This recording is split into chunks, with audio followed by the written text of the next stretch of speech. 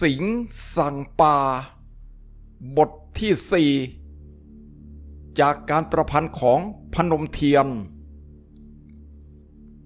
เพราะเองทีเดียวไอ้เบิ่มเชียร์ข้าซะเสียคนเร็ว ไอ้เด็กเวรวิ่งเร็วๆหน่อย ประเดี๋ยวลุงปู่เอาตะบองไล่ทุบตายห่าเจ้าเบิ่มถูกเตะก้นป้าบเขาให้ทีหนึ่งก็เร่งสตีมเต็มที่วิ่งตูดแป้นนำหน้าไป สิงวิ่งขยโยกตามหลัง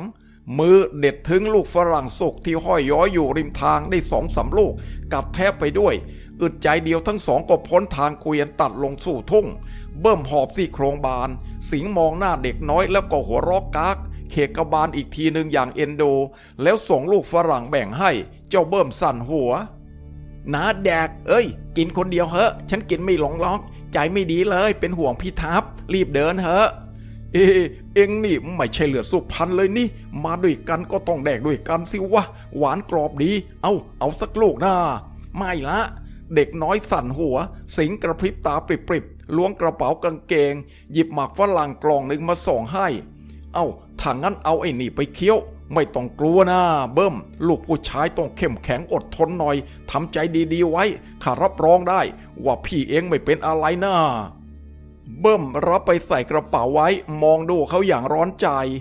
หนาก็หมูพูดอยู่นี่แหละ เดี๋ยวไม่ทันล็อก เออ ก็เองพาไปสิ เสือกหยุดทำไมล่ะ เบิ่มค้อนปลับปะเลือก พาเดินอ้าวเลาะลัดริมคันนา อันขึ้นทึบด้วยซุ้มคอยเป็นทิวยาวเหยียด ตรงไปยังบริเวณโคกสู่เบื้องหน้านางลำยองพี่สาวเองนะ่ะ เดี๋ยวนี้เป็นยังไงบ้างล่ะ ไม่ได้เจอซะนานโอ้ยเบิ่เริ่มเทิมเชียว สิงห์เบิกตาโตก้มลงกระซิบเบาๆ อะไรของเองวะเบิ่เริ่มเทิมเหอะหน้าไปดูเอาเองเหอะพูดมากไม่ได้ เจ้าเบิ่มตวาดแวดอดีตเสือร้ายผู้คืนถิ่นพยักหน้าเงึกเงึกไม่ได้ปริคำใดอีก แทบฝรั่งจนหมดโลก ทั้งสองมาหยุดซุ่มคอยทีอยู่ตรงดงสแก เหนือบริเวณดอนสูง เบิ่มกระสับกระส่ายกว่าสายตาไปรอบๆ ไหนว่าข้าไม่เห็นเงาของไอ้หมู่ยง หรือว่าพี่ชายของเองเลย ถ้าอีกจะหลอกข้าแล้วก็ข้าไล่เตะจากที่นี่ไปถึงวัดตะโกเชียว แต่แล้วขนาดนั้นเองก่อนที่เจ้าเบิ่มจะตอบเช่นไร ร่างของชายสองคนก็ปรากฏขึ้นที่โค้งละมอไม้ ไม่ได้ห่างออกไปนัก สิงคุ้มตัวลงอย่างรวดเร็ว ถอยหลบลึกเข้าไปในซุ้มสแกข้างจอมปลวกใหญ่ กระชากเจ้าเบิ่มหลบเข้าไปด้วย เด็กน้อยหน้าซีดตัวสั่นแงนขึ้นมองดูหน้าเขา เสือร้ายยิ้มให้ แต่ริมฝีปากเป็นความหมายให้เงียบเสียง ระยะที่ห่างประมาณ 30 เมตร เขามองเห็นสิ่งผิดปกติจากลักษณะของชายทั้งสองนั้น คนหนึ่งเป็นเด็กหนุ่มร่างโปร่ง ผมหยักศก และอีกคนหนึ่งเป็นชะกันหน้าเสียม ทั้งสองเดินมาในระยะประชิดกัน แต่เด็กหนุ่มเดินอยู่เบื้องหน้าเห็นจากไกลๆดูเหมือนจะมีการทุ่มเถียงอะไรกันอยู่ และเจ้าเด็กหนุ่มทำท่าไม่ยอมเดิน ตั้งท่าจะขัดขืนต่อสู้ คนที่เดินคุมอยู่เบื้องหลัง ผู้ที่มีรูปร่างใหญ่กว่า ตรงเข้ามาผลักไสเอาด้วยอำนาจ มืออีกข้างหนึ่งถือปืนสั้นโดยเปิดเผย จี้บังคับอยู่สิบตำรวจตรียง อันธพาลในคราบตำรวจของเจ้าพ่ออันนันต์และเจ้าทัพ เด็กคุ้นเคยหน้าที่เขาเคยช่วยชีวิตไว้จากการจมน้ำในสมัยก่อนนั่นเอง ภาพที่เห็นแสดงว่า ข่าวจากการบอกเล่าของเด็กเบิ้มไม่ได้คลาดเคลื่อน เอ็งหลบอยู่นี่อย่าโผล่ออกมาหน้า สิงกระซิบสั่งเร็วเปรือกดหัวเจ้าเบิ้มให้ซุ่มอยู่ที่เดิม ตัวเองก็พุ่งปราดปราดกำบังแนวป่าสแก ตรงดิ่งเข้าไปยังคนทั้งสอง ทับกระสับกระส่ายเดินหันหน้าหันหลังตามการขู่บังคับของหมูยง ใกล้ที่สิงยืนกำบังสงบนิ่งคอยทีอยู่เข้ามาเป็นลำดับ บัดนี้เขาสามารถได้ยินเสียงและเห็นอากับกิริยา สีหน้าของคนทั้งสองได้อย่างถนัด เอ๊ะหมูจะเอาท่าไหนกับฉันเนี่ยฮะทับร้องถาม สีหน้าของเด็กหนุ่มเครียดเกรียม ในตาตื่นเบิกโพลงเต็มไปด้วยระแวงหมูยงแผดเสียงหัวเราะออกมาดังสนั่น ควงปืนกายอยู่ในมือ เฮ้ย ไอ้ทับ เองรู้ไหม ใครก็ตามที่ข้าพามาในโคกปลิง มันหมายความถึงอะไร ทับกัดฟันกรอดยืนจ้องหน้าอยู่อึดใจหนึ่ง ก็ทันหลันเข้ามายองง้างนกปืนกริกยกขึ้นจ้องในระดับใบหน้า เด็กหนุ่มชะงักไปอีกอ้อทับคำรามเสียงเครือ หมายความว่ามึงจะเอากูมายิงทิ้งอย่างนั้นสิยงหัวเราะตัวโยกอยู่เช่นนั้น สีหน้าของตำรวจในคราบของโจร โหดเหี้ยมอมหิต และบัดนี้กราดไปด้วยแววเย้ยหยันกำชัย มึงแน่มากนะไอ้ทัพ กูเห็นมามากแล้ว ทุกคนเลย พอกูเอาตัวมาถึงที่นี่ก็ร้องขอชีวิตเราก็หมา ขี่แตกเยี่ยวแตก มีมึงอยู่คนเดียว ทั้งทั้งที่รู้อนาคต ยังปากกล้ากำแหงกับกูได้อีก นี่เว้ย วิญญาณของมึงเดี๋ยวนี้แขวนอยู่ที่ปลายนิ้วชี้กูนี่เอง ถ้ากูกระดิกเมื่อไหร่ก็หมายถึงว่ามันปลิวออกจากร่างมึงเมื่อนนั้น ไอ้ยง เสียงของทัพแหบต่ำไปด้วยความรู้สึกกัดริมฝีปากแน่น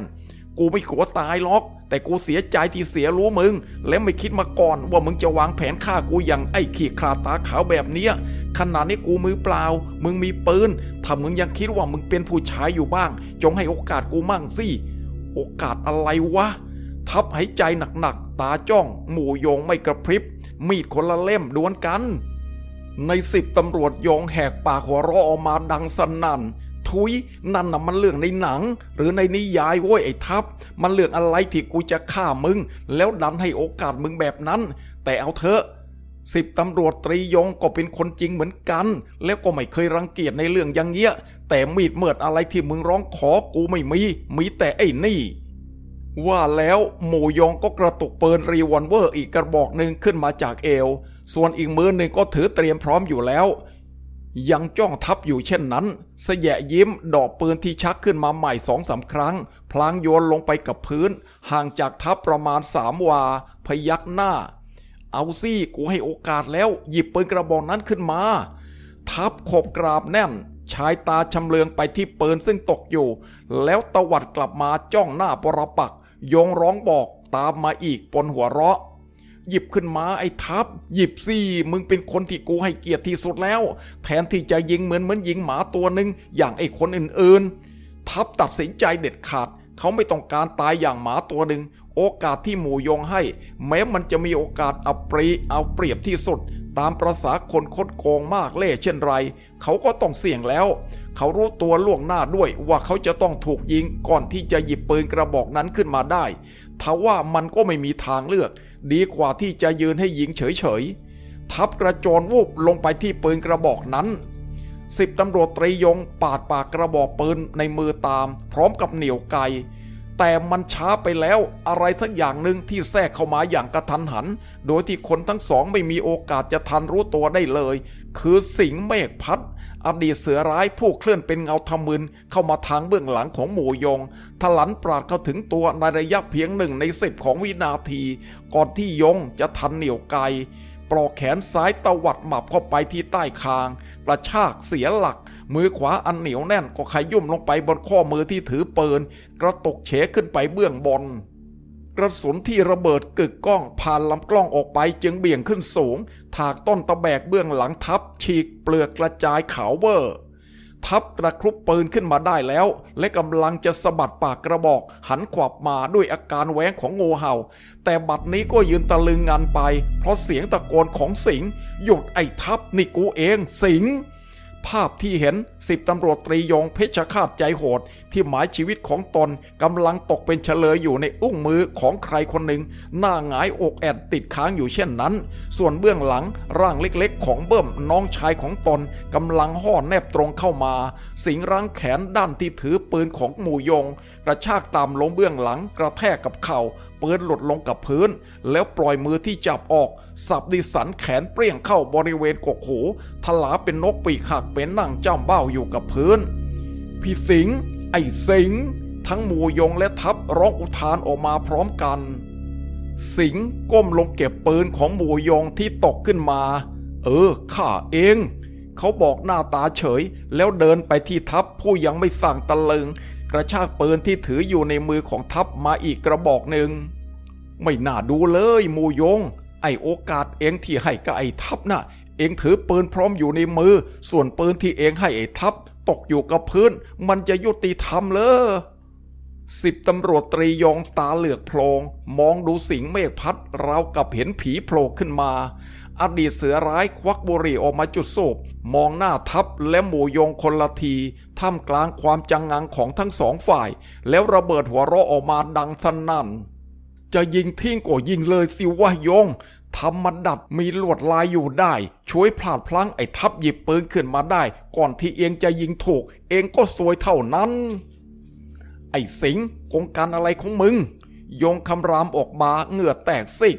ก็ไม่ใช่กงการอะไรของกูหรอกวะแต่กูมันคนขี้รำคาญลูกกระตา เห็นอะไรขวางขวางๆอยู่ก็อดเสือกไม่ได้ เอาอย่างนี้ดีกว่ายง กูจะเป็นกรรมการให้ เองจะยิงก็ไอ้ทับไหมล่ะ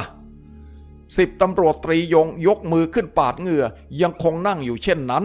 ในที่สุดก็ฝืนยิ้มพยายามทำเสียงให้ปกติ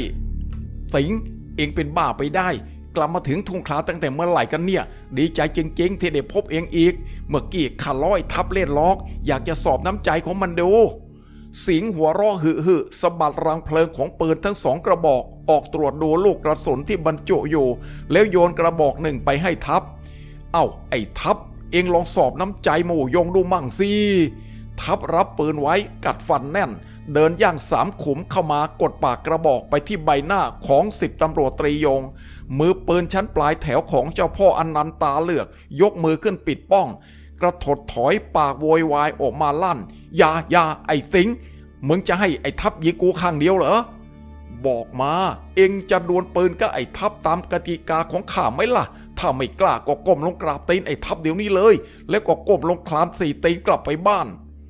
ยงไม่มีขวัญหรือความกล้าหาญใดๆเหลืออยู่อีกแล้ว ถ้าจะมีก็อย่างเดียว คือทิฏฐิมานะ แบบเดียวกับหมาจนตรอก นั่งหน้าขาวเผือดอยู่อึดใจใหญ่ ก็พยักหน้า แข็งใจพูดอย่างลูกผู้ชาย ตกลงส่งปืนมาให้กระบอกหนึ่งไอ้ทัพล่ะ เองจะยิงกับมันไหม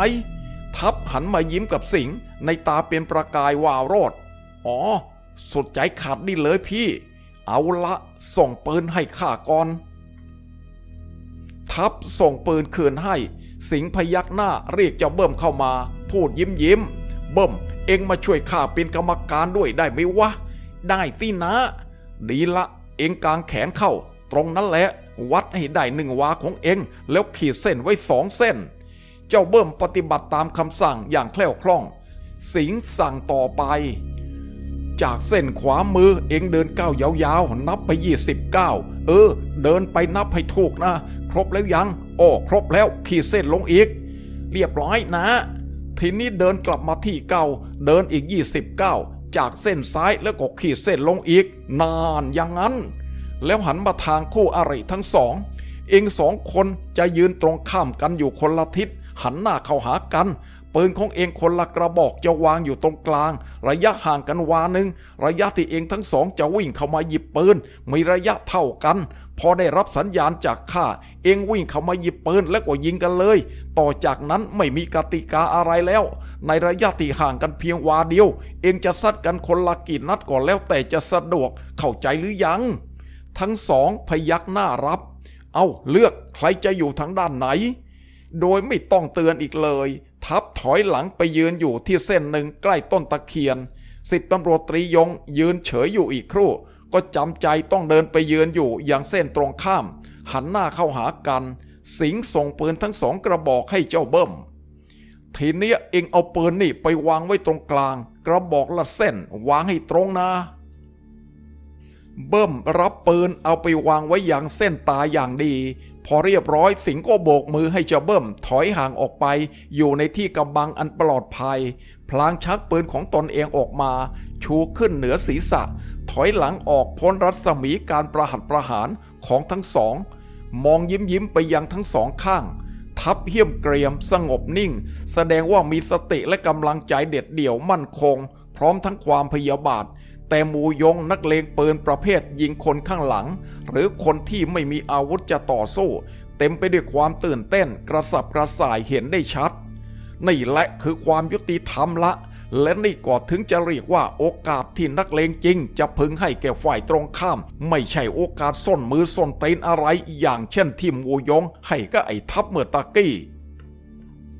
สิงประกาศขึ้นปนหัวเราะ ฟังให้ดีนะ ใครจะอยู่ใครจะดับ ก็จะได้รู้กันไปภายในไม่กี่อึดใจข้างหน้านี่แหละ ถ้าใครเล่นไม่ซื่อก่อนที่ข้าจะให้สัญญาณข้าจะยิงเสียทั้งสองคน พร้อมแล้วยัง ทั้งสองบอกพร้อมแล้ว ระวัง สิงตะโกนก้องเว้นระยะอึดใจหนึ่งก็เหนียวไกปล่อยกระสุนขึ้นฟ้าเป็นสัญญาณ ทันทีที่กังวานของกระสุนกึกก้องขึ้น ทั้งสองถลันออกจากที่วิ่งตรงเข้ามาหากัน เพื่อหยิบปืนซึ่งวางอยู่จุดศูนย์กลาง เป็นการวิ่งที่ต่างวางชีวิตไว้เป็นเดิมพันมูยงตาลีตาเลือกกระโจนเข้าตะปบปืนอย่างขวัญหนีดีฟอแต่ทัพพิสูจน์ชัดออกมาในบัดนี้แล้วว่า ไม่เดี๋ยววิ่งเข้ามาหมายจะหยิบปืนเลย แต่มาในอีกความหมายหนึ่ง ดังนั้นพอยงพังภาพลงตะครุบเปืนราวกับจะคว้าเอากล่องดวงใจเช่นนั้น จึงเป็นเป้าเหมาะที่สุดสำหรับเท้าขวาของทัพ ซึ่งซัดโตมเข้ามายังปลายกระโดงคางอย่างถนัดทนี เสียงดังสนั่นสิบตำรวจตรียงผู้คาดไม่ถึงมาก่อน ว่าฝ่ายตรงข้ามเตรียมการต่อสู้ในอีกแบบหนึ่งหงายพลึง กลิ้งไปสามสี่ทอด เปืนหลุดจากมือกระเด็นไปทางหนึ่ง ทัพไม่สนใจเรื่องปืนอีกเลย สะอึกตามเข้าไปราวกับสายฟ้าเตะเต็มเหนียวช้อนเข้าไปที่ลิ้นปี และบริเวณสวงอก ยงร้องอุทานออกมาอย่างลืมตัว ทั้งทั้งที่ร่างกายสูงใหญ่ได้เปรียบกว่า ก็ยังกลิ้งไปอย่างไม่เป็นท่า ทัพไม่เปิดโอกาสให้ยงเตรียมอย่างใดได้อีกเลย ประเคนทั้งหลังเท้า หน้าแข้งและเข่าป้อนอัดเข้าไปจนดูไม่ทัน ทุกครั้งเสียงที่ปรากฏขึ้น ดังไม่ผิดอะไรกับเอาไม้กระนำกระสอบเข้าสารรักคนไปกับเสียงร้องหนักๆของสิบตำรวจตรียง ซึ่งบัดนี้ล้มลุกคลุกคลานระเนระนาดไปกับพื้นหญ้า ไม่ได้ผิดอะไรกับท่อนไม้ที่ถูกกระแสน้ำแรงพัด เพียงไม่กี่พริบตาเท่านั้น มือพิชฆาตชั้นเลวของเจ้าพ่ออันนันต์ก็นอนตัวงอ อ้าปากบิดกายเอียดเอียดอยู่กับแผ่นดิน ทำเสียงคลุกคลักอยู่ในลำคอ เจ้าเบิ้มชายโยโห่ร้องวิ่งออกมาเต้นอย่างดีใจ ส่งเสียงเชียร์พี่ชายของมันลั่นไปหมด ทับเตะฉาดเข้าไปที่ก้านคอ จนหมูยงพลิกตะแคงหัวตำดินไปคาตีน แล้วก็วิ่งมาเก็บปืน กระโดดคร่อมอกปอระปักไว้ กระแทกปากกระบอกปืนทะลวงยัดเข้าไปในปาก ยงไม่มีทางที่จะต่อสู้อีกเลย นอกจากนอนแผ่อ้าปาก ตาเหลือกลานรอวาระสุดท้ายอยู่ ไอ้ยงคราวนี้ถึงทีกูบ้างละ ทับแผดเสียงคำรามออกมาอย่างเครียดแค้นกระหายเลือดสิบตำรวจตรียงขยับปากเหมือนจะพูดอะไรออกมา แต่ก็พูดไม่ได้ เพราะลำกล้องปืนจิ้มลึกลงไปถึงลิ้นไก่ ได้แต่นอนหงายหายใจแผ่วๆ เห็นแต่ตาขาวอยู่เช่นนั้น สิงเดินใกล้เข้ามา ทับเงยขึ้นศบตาลังเลอยู่เช่นนั้น ไม่อาจเหนียวไกลั่นกระสุนสังหารหมู่ยงได้ สิงเพียงแต่ยิ้มไม่พูดอะไรทั้งสิ้น เลิกคิ้วมองดูทับ ฉัน ฉันไม่เยี่ยมพอที่จะฆ่ามันได้หรอกพี่สิงทั้งทั้งที่เมื่อตะกี้เนี่ยมันจะฆ่าฉัน ทับพูดแผ่วต่ำกับเขา สิงไม่ตอบว่าเช่นไรอีก เลิกคิ้วขึ้นไปสูงกว่าเดิม พลางมองดูหน้าอันทุรนทุรายของหมู่ยงที่ถูกกดติดอยู่กับดิน ทับกระชากปืนออกจากปากคู่อริแล้วกระโดดลุกขึ้นยืน ไปไอ้ยง มึงวิ่งหนีไปให้เร็วที่สุด ก่อนที่กูจะเปลี่ยนใจสิบตำรวจตรียงค่อยๆ พยุงกาย ยันศีรษะขึ้น สีหน้าแทบจะไม่เหลือความเป็นผู้เป็นคนอีกต่อไป ทับเนียวไกปล่อยกระสุนออกไปสองนัด หัวกระสุนเฉียดขายงไปอย่างวุดวิดมือปืนของเจ้าพ่ออันนันพังงะหลังไปอย่างตระหนก ไปยังจะยืนอยู่หาอะไรอีก ไอสัตว์นรก ทับตวาดก้อง ไม่ต้องให้เตือนอีกเป็นครั้งที่สอง หมูยงหันหลังกลับได้ก็ออกโกยอ้าวแนบไปอย่างไม่คิดชีวิต สติไม่อยู่กับเนื้อกับตัว ลืมอะไรหมดทุกอย่างนอกจากสิ่งเดียวคือชีวิต ทับสะบดด่าแกล้งยิงไล่หลังไปอีกสองนัด ซึ่งเท่ากับเตือนให้สิบตำรวจตรีนักยิงทิ้งทำลายสถิติวิ่งเร็วของโลกขึ้นไปอีก แล้วทับก็หันมาทางสิงจ้องหน้าอย่างไม่ไวอัศจรรย์ใจ กราเข้ามายกมือไหว้ท่วมหัว เสียงสั่นเครือไปด้วยความปิติ พี่สิงห์นี่ฉันฝันไปหรือเปล่า พี่สิงห์จริง ๆ นั่นแหละ มีหนำซ้ำยังโผล่มาช่วยชีวิตฉันไว้ได้อย่างวุดเวดเองไม่ได้ฝันหรอก แต่ทับเอ้ย เองน่ะตีงูให้หลังหักแล้วปล่อยไป มันจะเข่าท่าเลยช่างมันเถอะพี่วันพระไม่มีหนเดียว ถ้าไงเสียคงได้เจอกันอีก คราวนี้ฉันจะไม่พลาดท่าให้มันอีกแล้ว นึกไม่ถึงเลยว่ามันจะหลอกเอาฉันมาฆ่า ว่าแต่พี่เถอฉันดีใจจริง ๆ พี่ไปยังไงมายังไงเนี่ย มาถึงตั้งแต่เมื่อไหร่เมื่อเช้านี่เองกำลังจะเดินไปหาพักพวกเก่าๆที่วัดตะโก พอดีไอ้เบิ่มมันตามมาชดบอกว่าเองถูกไอ้โมยงมันหลอกมายิงทิ้งที่นี่ ก็เลยตามมาดู แล้วเองล่ะ เส่อสายังไงถึงได้เดินตามหลังไอ้ยงมันต่อยต่อยยังก็วัวขู่เข้าจูงไปฆ่าพุทโธทับหนะทับ ทับยกมือไหว้อีกครั้ง หัวร้อแห้งๆ ด่าฉันเถอะพี่ หรือจะกระเทือบฉันสักทีก็ยอม ไอ้ฉันมันคนซื่อ จนเหมือนโง่จริง ๆ ใจมันบริสุทธิ์ ไม่เคยคิดทำใครเลย ก็คิดว่าคนอื่นมันจะบริสุทธิ์เหมือนกับฉันกำลังนั่งเล่นหมากรุกอยู่บ้านผู้ใหญ่เคลื่อน ไอ้หมูยงมันเข้าไปเรียกฉันออกมา บอกว่าบ้านนี้มีเลี้ยงกระแช่กัน ชวนฉันไปด้วย ฉันแปลกใจเหมือนกันแหละแต่ไหนแต่ไรหมูยงสายตามันไม่กินกับฉันเลย เคยข่มขู่ผ่านหาเรื่องฉันอยู่บ่อยๆ แล้วมันก็เป็นลูกตีนของเท่าแก่อันนั้นคนใหญ่คนโตที่นี่ ไอ้เท่าแก่อันนั้นเลยก็เกลียดขี้หน้าฉันตั้งแต่ปีมาโวตอนที่มันจะขอซื้อที่ แล้วพ่อกับฉันไม่ยอมขายให้ ฉันจะไม่ไปกับมันแล้ว แต่มันเจ้าซีขยันขยอ ให้ตายโหงไปต่อหน้าแสงตะวันเดี๋ยวนี้เหอะ ฉันไม่ได้เห็นแกแดกเลย ที่ยอมมากับมันนี่นะเสียอ้อนวอนไม่ได้ อีกอย่างหนึ่งก็คิดเป็นตรงข้าม นึกว่ามันอาจจะดีกับฉันแล้วมาผูกมิตรด้วย ก็เลยเอากับมัน พอเดินมาถึงกลางนาฉันก็แปลกใจ เห็นท่ามันมีพิรุษจะไม่ไปด้วย มันก็ควักปืนออกมาจี้ สิงโครงหัว มองดูเจ้าทัพอย่างสมเพศเสียแรงเกิดในดงเหี่ยนามึงหน้าไอ้ทัพ ไปเสียท่าเข้าได้ ขันนึกว่าข้ามาไม่ทันซะอีก แล้วทำไมไอ้เบิ่มมันถึงรู้วิ่งแจ่นไปตามข้าได้ล่ะ ทัพเองก็ประหลาดใจหันกว่าไปทางเจ้าน้องชาย เบิ่มบอกมาเสียงแหลมว่า ตอนพี่ทัพเล่นหมากลุกอยู่บ้านผู้ใหญ่เคลื่อน ฉันเล่นหยอดหลมอยู่ใต้ถุนนี่นะ พี่ทัพไปก็ไอหมูยอง ไอผู้ใหญ่เคลื่อน มันก็พูดกับตาอ่อนว่าวันนี้พี่ทัพเป็นผีเฝ้าโคกปลิงแง่แง่ฉันก็รู้นะสิว่ามันต้องเอาพี่ทัพไปยิงทิ้ง สิงหัวเราะชอบใจ ขยี้หัวอันหยิกย้อยไปด้วยเส้นผมของเจ้าเบิ่ม เออ เองฉลาดมากเบิ่มฉลาดกว่าไอ้ทัพพี่เองซะอีก ส่วนเองน่ะ หันไปทางทัพแล้วก็ยิ้ม ถึงแม้จะเป็นนักสู้ที่เมแววว่าจะมีฝีมือดีต่อไป แต่ก็ขาดชั้นเชิงไหวพริบของชาติเสือไปหน่อยทว่าก่อนนั่นละนะเองมันก็เพิ่งจะโตมา มองเห็นโลกในแง่ดีเกินไปจำไว้นะทับ ถ้ารักจะเป็นชาติเสือกันละก็ นอกจากฝีไม้ลายมือแล้ว เองจะต้องมีความรอบคอบ ปฏิพานไหวพริบรอบตัว อย่าประมาท อย่าไว้ใจมนุษย์หน้าไหนทั้งนั้น ฉันจะจำคำของพี่ไว้จนลมหายใจสุดท้ายเลยทีเดียว และจะถือครั้งนี้เป็นบทเรียน ว่าแต่พี่เหอะ พี่ยังไม่ได้บอกให้ฉันรู้เลยว่าพี่หมายยังไง ฉันน่ะดีใจจนพูดอะไรไม่ออกหมดแล้วข้าพ้นโทษแล้วจะกลับมาอยู่กับพวกเองที่นี่ ทับพูดอะไรไม่ออกจริงๆ กระโดดเข้ากอดสิ่งไว้แน่น น้ำตาคลอไปด้วยความตื้นตัน พี่เป็นความจริงเหรอ จริงสิ อย่าเพิ่งพูดอะไรกันมากที่นี่เลย เรามีเรื่องจะต้องพูดกันแยะ ให้เจอกันพร้อมหน้าซะก่อนข้าน่ะกำลังคิดถึงอยู่ทีเดียว คนแรกที่ข้าต้องการพบก็คือเหตุการณ์ มันทำให้พบพอดี พี่สั่งเลย ขั้นแรกเนี่ยพี่มีแผนอะไรข้าต้องการพบพวกเราที่วัดตะโก หมอไอ้พวกนั้นอยู่พร้อมหน้าเลยทีเดียว มีกระจัดกระจายอยู่ที่อื่นมั่งเหมือนกัน ฉันจะไปตามเอง พี่ไปรออยู่ที่นั่นก่อน แต่ว่า ทับขมวดคิ้ว สีหน้ามีแววร้อนรุ่มกังวลพี่กลแผ่วเสียงลง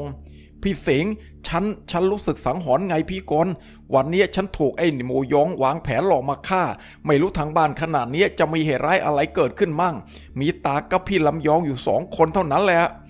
สิงชะงักจ้องตาทับ แล้วตบไหล่เด็กหนุ่มหนักๆพยักหน้าถ้างั้นเรื่องอื่นไว้ทีหลัง ย้อนกลับไปดูที่บ้านเองซะก่อน ทับกับเจ้าเบิ้มน้องชายออกเดินนำเลี้ยวไป สิงตามหลังไปอย่างสงบ ตลอดเวลาทั้งสามไม่ได้ปริปากพูดคำใดกันอีกเลย สังเกตดูทับกระสับกระส่ายร้อนใจมาก พยายามเร่งฝีเท้าเต็มที่ พอผ่านซุ้มไผ่คู่ เป็นช่องราวกับปากประตูใกล้คอกหมู เสียงกรีดร้องของผู้หญิงก็ดังก้องมาได้ยินถนัด สิงห์ผู้เดินอยู่เบื้องหลังทิ้งระยะห่างประมาณสองก้าวจากเจ้าทัพพรวดขึ้นมาเคียงข้าง คว้าคอเจ้าเบิ้ม ซึ่งกำลังทำหน้าลอกแรกจะวิ่งตรงเข้าไปที่เรือนชั้นเดียวหลังคาแฝด ยกพื้นสูงเอาไว้ อีกมือหนึ่งตะปบปากเด็กน้อย ป้องกันเสียงที่เจ้าเบิ้มอาจจะเอะอะขึ้น รู้สึกว่าจะเป็นเสียงพี่ลำยอง ทับกัดฟันกระซิบ และก่อนที่สิงจะปริปากเช่นไรนั่นเอง เสียงเอ็ดอึงก็ดังมาอีก ไอ้สันนรกหน้าขอน ปล่อยกูวายช่วยด้วย เสียงสาบแช่งร้องขอความช่วยเหลือดังเคล้าไปกับเสียงหัวเราะคำรามอย่างเมามันของผู้ชาย ทับตัวสั่นเทิม ถอนหายใจเฮือก แล้ววิ่งปราดออกไปณบัดนั้น แต่สิงไวกว่ากระโจนเข้าตวัดคอไว้ได้กระชากกลับมา ไอ้ทับ เองใจร้อนไม่มีท่าอีกแล้ว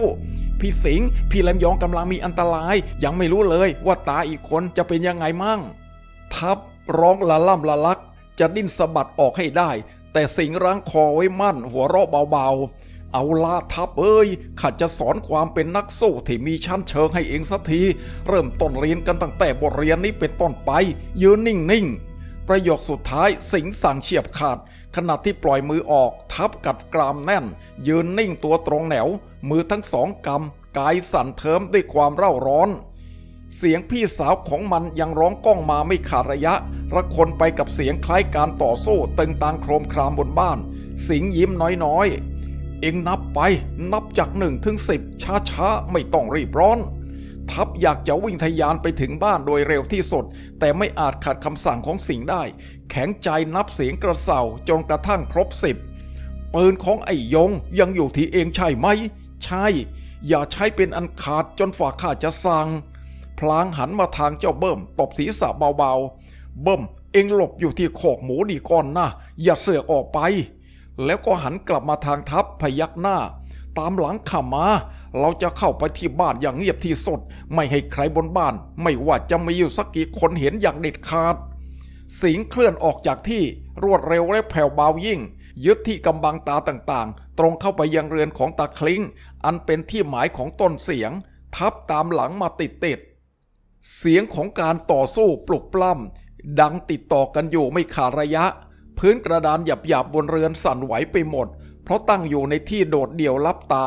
ห่างไกลจากหมู่บ้าน เหตุร้ายเกิดขึ้นจึงไม่เป็นที่รู้เห็นของเพื่อนบ้านอื่นๆ สิงกับทัพซุ่มเข้ามากำบังอยู่ที่กองฟาง ใกล้กับกระไดขึ้นชานบ้าน สังเกตเหตุการณ์บนนอกชานได้ถนัดเท่าคลิ้งถูกมัดติดอยู่กับเสานอกชาน มีผ้าเขาม้าผืนใหญ่ผูกปากอยู่ด้วย ไม่ห่างจากตาเท่าเจ้าของเรือนผู้เป็นตาของเจ้าทัพและเจ้าเบิ่มออกไปนัก ชายคนหนึ่งนั่งรินเหล้าเถื่อนจากไหเดิมอยู่อย่างสบายใจ ที่พุงเหน็บปืน Parabellum เขาสวมสร้อยเงินเส้นใหญ่ ห้อยพระเลี่ยมพวงเบอร์เรอร์เสื้อคอกลมลายสีแสบลูกนัยน์ตา และกางเกงแพรดำมันระยับของเขา ตลอดจนท่วงทีการวางท่า อันเอื่อยเฉยประจักษ์แจ้งต่อสายตาของสิงห์บัดนี้ว่า ชายผู้ซึ่งเขาไม่เคยรู้จักเห็นหน้าค่าตามาก่อนเลยในชีวิตคนนี้นั้น น่าจะเป็นบุคคลชั้นลูกพี่คนหนึ่งแห่งทุ่งคลา และก็เป็นด่านแรกที่เขาจะต้องหักฝ่าขึ้นไป แก้สถานการณ์ร้ายของลำยองที่กำลังร้องด่าเอ็ดเอืองอยู่ข้างใน ไอ้ชุ่ม ทับกระซิบปนคำรามมาทางเบื้องหลัง มันเป็นใคร น้องเขยกำนันชาติ ที่เมียมันเพิ่งออกลูกตายไปเมื่อเดือนก่อนนี่เอง มันเป็นลูกน้องมือดีคนหนึ่งของไอ้เท่าแก่อันนั้น หมอจริง สิงร้ายพูดเตลิดออกมาหยกหยกจากบางขวางแยกเขี้ยวยิงฟัน หัวเราะอยู่ในลำคอ หนาอ้วบ เองสงบสติอารมณ์ใจเย็นๆอยู่ที่นี่ข้าจะทำให้ไอ้น้องเขยขวัญของกำนันนอนฝันนิ่งๆ อยู่ตรงไหเหล่านี่เตือนหนึ่งสิงเมฆพัด เคลื่อนตัวออกมาจากหลังกองฟางอย่างรวดเร็วว่องไวปราดเปรียว อันตรงกันข้ามกับกายสูงใหญ่เทอะทะของตัวเอง เสือร้ายย่องไปคว้าได้ดุนฝืนแห้งๆ ดุนเหมาะมือด้นหนึ่ง ซึ่งตกเกะกะอยู่ตรงพื้นดิน ใกล้ตอมะม่วง มาถือแน่นอยู่ในมือ มันเป็นแก่นไม้ที่มีน้ำหนักพอดิบพอดีสำหรับจะทำให้คนง่วงเหงา หาวนอน ได้สบายทีเดียว หากจะเหวี่ยงไปกระทบกระโหลกศีรษะเข้าอย่างถนัด สิงคืบเข้าไปจนได้ระยะ ระหว่างสายตาอันเขม่งของทัพที่จ้องตามาอย่างกระวนกระวาย และน้องเขยของกำนันชาติ ก็เป็นมนุษย์ธรรมดาที่ไม่มีในตาอยู่ข้างหลังเสียด้วย มินหนำซ้ำหมอยังเพลิดเพลินต่อการดื่มเหล้าหัวเราะเอิกอาร์กชอบอกชอบใจต่อภาพการปลุกปล้ำที่อึงคันหนึ่งอยู่ในห้องตรงหน้า เมื่อได้จังหวะจะโคนพร้อมเพรียงกันเข้าดีแล้ว สิงเมฆพัดก็สลัดมือขวาที่มีดุ้นฝืนหนักเอิ้องนั่นออกไปทันที มีเสียงชนิดหนึ่งเกิดขึ้น ราวกับกะลามะพร้าวถูกจับด้วยหัวขวาน เขยขวัญของกำนันแห่งทุ่งคลาเเอียงหุ่นหม้อต้อเหมือนเตี๋ยวหุยของเขาไปฟุบอยู่กับไหเหล้าเถื่อน ไม่ผิดอะไรกับถูกตีนช้างดีดเข้ากลางหลัง เงียบกริบแน่นิ่งจมอยู่ตรงนั้นเอง เสียงท่อนไม้ตกลงกระทบพื้นกระดานบนนอกชานข้างนอก ดูเหมือนจะไม่ทำให้คนที่กำลังเมามัน จวนได้จวนเสียอยู่ข้างในสนใจนัก เพราะพื้นกระดานก็ยังลั่นยวบยาบเคล้าละคนมากับเสียงตะโกนด่าหยาบๆของพี่สาวเจ้าเบิ่มแต่เท่าคลิ้งซึ่งถูกมัด มือเท้าและปากอยู่นั้น เบิกในตากว้างด้วยความแปลกประหลาดใจ สิงกระโจนพรวดด้วยปลายเท้า ขึ้นไปยืนพงาดอยู่บนนอกชานทับ พละจากที่กำบังวิ่งตามขึ้นมาติดๆแต่สิงยกนิ้วแตะที่ปากเป็นความหมาย ให้รักษาความสงบเงียบไว้ก่อน บุยไปให้แก้มัดเท่าคลิ้ง ซึ่งมีอาการปิติยินดีเหลือจะกล่าว ไอสัตว์เดรัจฉานเยี่ยม ไอหน้า เสียงหญิงสาวตะโกนอย่างเหนื่อยเหน็ดออกมา สิงเดินช้าๆ เข้าไปยืนอยู่ตรงขอบธรณีประตู ภาพที่ปรากฏเด่นชัดอยู่กลางห้อง ท่ามกลางสายตาอันรีซึมของเขา สาวน้อยในวัยสาวเต็มตัว ผิวคล้ำแต่ผุดผ่องกำลังอยู่ในสภาพบูดวิดเปลย ก้อนเนื้อบริเวณสวงอกของหล่อนปราศจากเสื้อผ้าปิดบัง เหลือแต่เพียงสรงเก่าๆ ที่กำลังถูกกระชากยื้อแย่งจากชายกำยำเจ้าของชื่อเยี่ยม ซึ่งหมอทำท่าว่าเกือบจะมีโอกาสได้เยี่ยมวิมานสวัสดสมชื่อของมัน หากว่าเขาไม่พรวดพลาดเข้ามาทันเวลาเสียก่อน ทั้งสองชะงัก แต่เป็นการชะงักต่างกันลำยองเบิกตาอุทานออกมาด้วยความตื่นตะลึงปนกระดากอาย รีบคว้าชายผ้าขึ้นมาปิดของสงวนบริเวณอก ใบหน้าแดงระเรื่อ เรือนร่างของหญิงสาวและเนื้อหนังอันแต่งต่างของหล่อนทำให้สิงเมฆพัดต้องยักไหลแล้วก็อดนึกถึงคำพูดของเจ้าเบิ้มไม่ได้ เบิ้มเริ่มเทิมของมัน น่าจะเป็นเชฟอวบอัน หรือไม่ก็อกตึงๆของลำยอง ที่น่าจะทำให้ผู้ชายต้องน้ำลายไหล หากว่ามีโอกาสมาเห็นอย่างเขาเองนี่เสียแล้ว และก็เพราะเป็นไอ้เบอร์เริ่มเทิมของลำยองนี่อีกกระมัง ซึ่งทำให้เจ้าเยี่ยมคิดจะเยี่ยมวิมานในตาอันแดงกล่ำเพราะความเมามันกระหายหิวของมัน เปลี่ยนว้าวมาเป็นกระด้างดุเดือดทันที มึงเป็นใครแล้วก็เสือกเข้ามาขัดจังหวะทำไม สิงหันมากระดิกนิ้วให้กับทัพที่ยืนบดกรามกรอดอยู่เบื้องนอก ในลักษณะของคนซึ่งอยากจะเฉือนมนุษย์เป็นๆให้กลายเป็นผี ทัพเองเข้ามาบอกมันทีสิว่าข้าคือพ่อมันหรือว่ายมบาลเด็กหนุ่มเลือดร้อนแห่งทุ่งคลากระโจนพรวดเข้ามาราวกับลมเพชรหึง ใบหน้าของทัพบัดนี้ไม่ผิดอะไรกับคนบ้า หรือถูกสวมด้วยวิญญาณของเสือถูกจับ เจ้าเยี่ยมในตาเหลือก ความดุดันเมื่อครู่ดูเหมือนจะสิ้นหายไปในพริบตา เหลือไว้คือความหวาดกลัวสุดขีด ยามเมื่อเผชิญหน้ากับน้องชายเลือดร้อน และสู้คนไม่เลือกหน้าผีหรือเทวดาของลำยองและหมดทางเลี่ยงหนี